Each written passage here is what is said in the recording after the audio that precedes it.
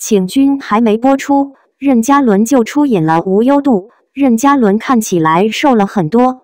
二零二二年，任嘉伦又给我们带来了两部剧的播出，分别是与迪丽热巴古装仙侠题材剧《与君初相识，恰是故人归》，还有现代剧《蓝焰突击》。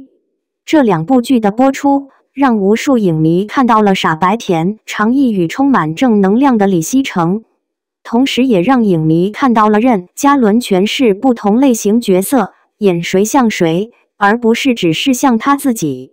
二零二二年七月中旬，让无数影视期待已经的民国剧《请君》暂时还没有与我们大家见面。毕竟到目前为止，任嘉伦除了与杨颖刚杀青不久的现代剧《暮色新约》未播出，《请君》算是他唯一一部将要播出的新剧。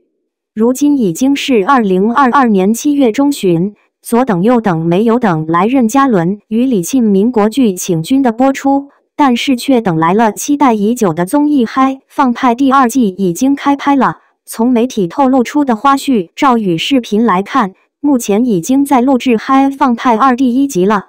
这也让无数影迷很期待能早日看到他们这一期的节目。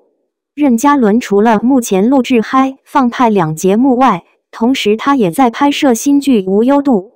在今年的二零二二年六月二十九日这天，一直被网传任嘉伦古装玄幻题材剧《无忧渡》终于坐实了。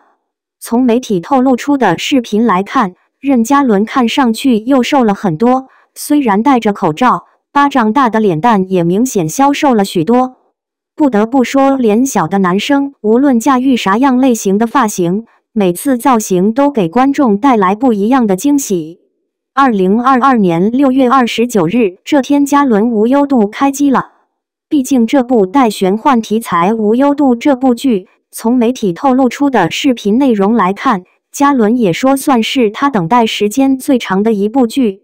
任嘉伦每部剧在开机时，他都会做大量的功课，不仅研究剧本，同时对每个角色上的把握，他都会很下功夫。所以呈现给观众面前的，都是一部优秀的作。